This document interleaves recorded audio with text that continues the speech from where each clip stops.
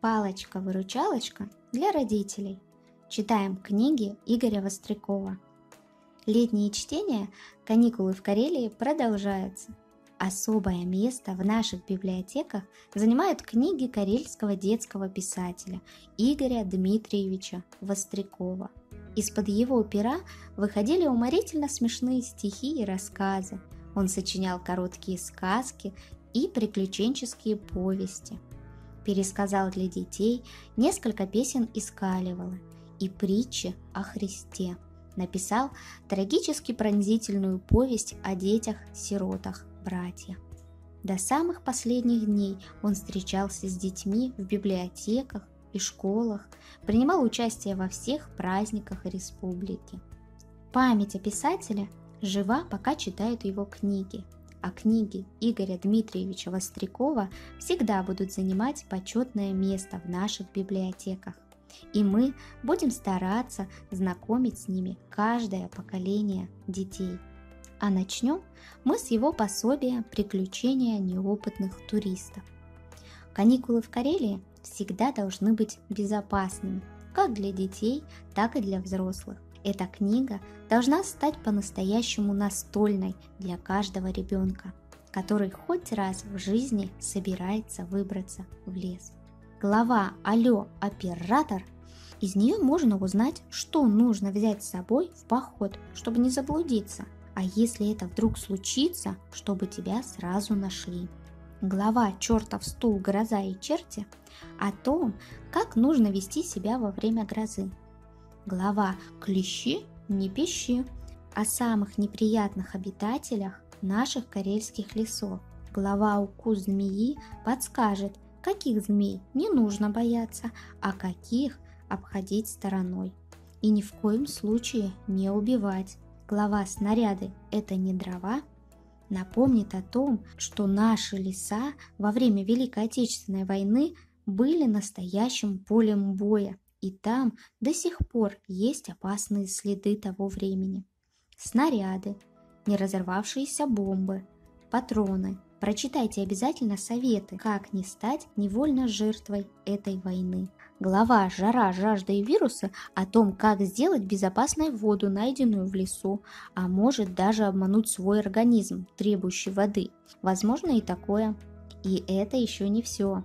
Есть советы о том, как найти еду в лесу, правильно развести костер и не устроить пожар. Помимо летних советов, есть советы и зимние. Ведь мы можем отправиться в поход и зимой. Таким образом, эта книга всегда будет незаменимой для тех, кто любит походы и путешествия. Игорь Дмитриевич Востряков сочинял такие стихи для детей, которые запоминаются с первого прочтения. Их можно читать вслух малышам и предлагать для самостоятельного знакомства школьникам. Вот несколько стихотворений из одной из его самых первых книг «Чунды, унды, закалюки». Чунды-унды, закалюки. Чум-дум да закалюки потеряли как-то брюки. Фуки-буки их нашли, к чунде с брюками пришли. Брюки ваши или не ваши? Или вашего папаши? Ну какие же это брюки? Это чудо-пароход. Я на этом пароходе два часа при всем народе вдоль Америки ходил. И за мной гонялся страшный брыло-мыло крокодил. Я, конечно, не боялся, два часа над ним смеялся. Брюки ваши или не ваши? Или братца Николаши? Ну какие же это брюки? Я на них летал от скуки. Это чудо-самолет. Он летает только боком и садится лишь с прискоком, да и задом наперед. Брюки ваши или не ваши? Или сестрицы вашей клаши. Это вовсе и не брюки. Тут торчат такие штуки, если к ним приклеить тазик на известный клей-момент, то получится горбатый и слегка зеленоватый чудо-юдо лисопед. Хватит, хватит, вот вам брюки, отдаю их прямо в руки. А теперь скорее дайте чудо-юдо лисопед. А зачем вам лисопед? Просто я проголодался, пока слушал ваши бредни и поеду на обед. День рождения. День рождения, день рождения. Ели мы халву с печеньем, торт с прозрачным мармеладом. Заедали шоколадом. А потом мы на пол сели, еще конфеты ели. Все кричали «С днем рождения!» Я молчал и ел варенье. И спросил один малыш «Почему ты не кричишь?» Почему ты не кричишь, лишь ушами шевелишь?» Я спросил, доев варенье. «А кому здесь день рождения?»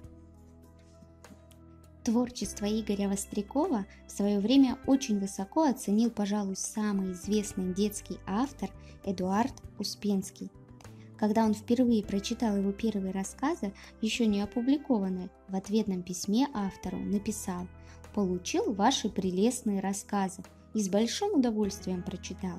Они свежи, веселы и хороши по темам и событиям. Впоследствии Успенский отметил, что некоторые из них были написаны не по литературным, а по каким-то непонятным ему неписанным законам. В предисловии книги Игоря Вострякова 2008 года «Волшебный лучик детства» Эдуард Успенский написал – с полным основанием могу сказать, что Карелии повезло. В Петрозаводске живет и работает классный детский писатель Игорь Востряков. Предлагаем вам послушать два рассказа из книги «Дождь из огурцов», вышедшей в 1989 году. Наверное, уже все дети знакомы с таким жанром, как детские ужастики. Это сейчас писатели собирают этот детский фольклор, обрабатывают его и даже сочиняют свои страшилки. А лет 30 назад, когда и был напечатан этот рассказ, дети сочиняли истории о черной перчатке, красной руке или зеленой даме. И пересказывали друг другу и всегда ночью, чтобы было пострашнее. Поэтому это и стало настоящим детским фольклором. Черти на шариках. Однажды мы с Васькой поехали на рыбалку. Когда стемнело, развели костер, сварили уху, потом разлеглись возле костра. Васька с одной стороны, а я с другой. Ночь была тихая, теплая. Вдруг Васька ни с того ни с сего принялся рассказывать страшные истории о черной перчатке, которая залетает в форточки и душит людей – об оранжевом чемоданчике, приносящем несчастье, о пиковой даме, на правой ноге у которой надет черный валенок, а на левой белая перчатка. И о том, как эта дама утаскивает зазевавшихся людей в могилу. О зеленых человечках, прилетающих из космоса и обливающих всех зеленой жидкостью, после чего мозги у некоторых поворачиваются на бекрень. Еще он рассказывал о чертях, летающих на шариках и многом другом. Почти к самой воде подступал лес. В темноте он казался таинственным и страшным. Слушая Ваську, я поплотнее завернулся в куртку и не заметил, как уснул. Среди ночи меня разбудил какой-то звук. Я прислушался. Совсем рядом треснул сучок. Я приподнялся. Костер не горел, было очень темно. Васька спал рядом, свернувшись калачиком. Вдруг от большого куста отделилась горбленная фигура и направилась в мою сторону.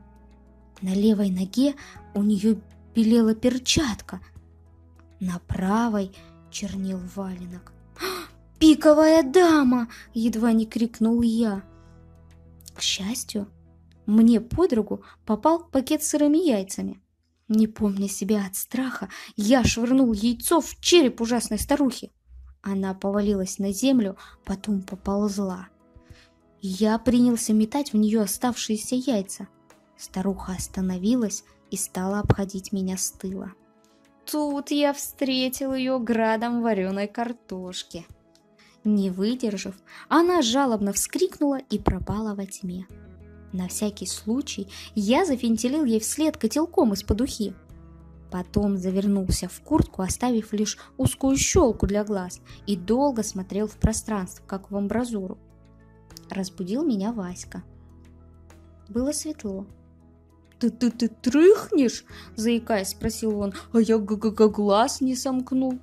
«Хм, «Как это не сомкнул? Да ты...» Возмутился я, но осекся. На траве калачиком лежала его куртка. Смутная догадка насторожила меня, и я приумолк. Ночью пошел за кустики, хриплым шепотом сообщил Васька. Вдруг, откуда ни возьмись, зеленые человечки. Хлопни инопланетным контейнером по черепу. Я и упал. Чувствую, течет по щекам зеленая жидкость. Только поднял голову, сразу четыре удара. Один в глаз, другой в подбородок, третий в ухо, четвертый по зубам. Метнулся я в сторону, а там черти на шариках носятся. Удар за ударом и все в меня. Кинулся я в лес. Вдруг, откуда ни возьмись, вылетает самый главный черт. Врезал мне железным кулачищем по спине и в кусты. Голос у Васьки дрогнул. Так что одевайся, Генка. В Академию наук поедем. Ну, зря я, что ли, всю ночь промаялся. Лицо, рубашка и руки у него были вымазаны чем-то желтовато-зеленым. В шевелюре белел обломок инопланетного контейнера, который оказался куском яичной скорлупы. Сомнения мои кончились. «Идем, Вася, умываться», — мирно предложил я. Васька сразу стал кричать, что для науки согласен пойти на любые жертвы и потому умываться не собирается. «Как хочешь, Васенька», — ласково сказал я, — «только ночью и на меня нападение было». «На тебя?» — удивился Васька. «Ага, пиковая дама напала. Еле зелеными человечками да чертями на шариках отбился. А потом пришлось ей вдогонку главного черта запустить. Уж такой чумазый, все руки об него вымазал. Вон, под кустом валяется. Потрясенный Васька словно проглотил язык и, долго не мигая, смотрел на тяжелый рыбацкий котелок, лежащий под кустом. Наконец, сообразив что-то, почесал то место, куда он ему угодил, поежился и пошел умываться. Все хорошее имеет свойство заканчиваться. Закончатся и эти летние каникулы. Частенько учителя предлагают написать сочинение о том, как я провел лето. А вот героям рассказа прилагательное учитель предложил закрепить эту часть речи следующим образом. Рассказ прилагательное. Мы проходили прилагательное – Объяснений Полины Ивановны я не слушал и весь урок читал книгу «Всадник без головы». На следующий день Полина Ивановна как нарочно вызвала меня к доске, где уже был написан текст и продиктовала всему классу. За грибами. Три друга пошли в какой-то лес за какими-то грибами. У какого-то Миши была какая-то корзинка, а у какого-то Коли и у какого-то Вани какие-то лукошки – они собирали какие-то грибы и перекликались какими-то голосами. Вдруг какое-то небо потемнело и пошел какой-то дождь. Миша, Коля и Ваня спрятались под каким-то деревом.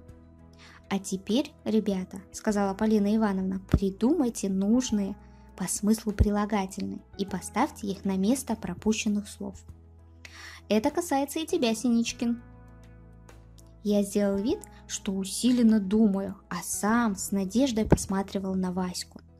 Васька что-то написал на бумажке и бросил ее мне. Полина Ивановна сидела ко мне спиной и писала. Я развернул бумажку и стал по порядку быстренько вставлять Васькины прилагательные в предложение. Я так спешил, что даже рука заныла от напряжения. Наконец, я переписал последнее прилагательное и сказал «Все». Когда я сказал «все», ребята подняли голову от тетрадок, и класс грохнул. Я никогда не слышал, чтобы так смеялись. Полина Ивановна очень рассердилась и, строго взглянув на меня, сказала, «Ну что ж, Синичкин, если ты считаешь, что все прилагательные на месте, то прочти нам, что же ты написал» и я стал читать. За грибами. Три друга пошли в косолапый лес за развесистыми грибами. У голубого Мишки была неумытая корзинка, а у раннего Коли и продолговатого Вани незнакомые лукошки. Они собирали счастливые грибы и перекликались квадратными голосами. Вдруг первое небо потемнело и пошел вчерашний дождь. Миша, Коля и Ваня спрятались под жизнерадостным деревом. «Теперь тебе понятно, Синичкин, — сказала Полина Ивановна, — что даже списывая готовое, нужно думать и самому». Я сказал, «Понятно». Но как Полина Ивановна узнала, что я списывал? Этого я так и не понял. Летние каникулы должны быть интересными, наполненными событиями и встречами. Но что делать, если запланированные поездки в этом сложном году не состоялись? И даже за город выехать не удается. Можно и пребывание в городе сделать запоминающимся. У Игоря Вострякова есть совсем необычная книга «Учебник по воронью» или «Как тренировать воображение». Воспользуйтесь советами из этой книги, и тогда любая встреча с друзьями или простые вечера в семейной обстановке станут незабываемыми. Ведь это настоящая энциклопедия нескучной жизни, подскажет идеи веселых игр, а взрослым напомнит то, во что они играли в детстве и, возможно, уже забыли. А дети ведь так любят играть. Кстати, вот идея для самой первой игры. Ведущий составляет текст и пропускает, например, все прилагательные, а присутствующие не знают, о чем этот текст и по очереди предлагает свои варианты. Ведущий вставляет слова и потом зачитывает получившийся рассказ. Игорь Востряков сначала написал рассказ, а затем эту идею предложил в своем учебнике. Проверьте, Получается очень смешно.